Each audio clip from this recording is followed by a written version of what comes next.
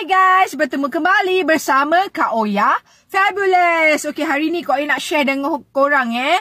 Uh, antara akibat yang suka berjaga malam termasuk uh, benda ni as a reminder untuk diri Kak Oya juga. Okey uh, akibat suka berjaga malam, kita semua akan ada tekanan darah tinggi.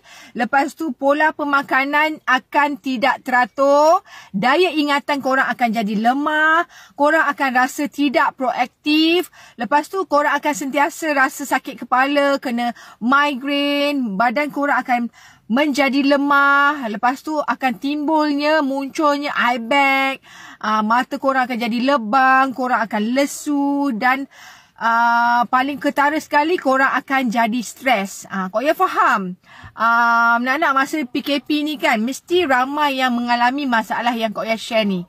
So, kau ya nak uh, remind diri Kak Oya sendiri dan korang semua terutama sekali wanita dan juga lelaki hati-hati.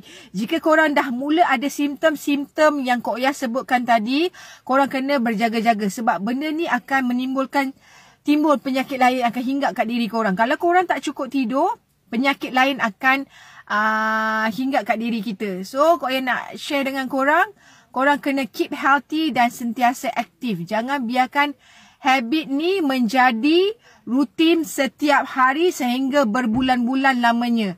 So kalau korang ada rakan-rakan korang yang jenis tidur lambat, korang tag uh, video yang Kak Oya share ni dengan korang. Okay, jangan biar selalu tidur lambat sebab bahaya. Uh, benda ni akan buat korang akan nampak tua sebelum usia. Okay, so hati-hati okay.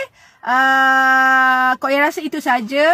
Jangan lupa wanita, uh, ingat tagline Kak Oya kerana dirimu wanita begitu berharga. Bye semua.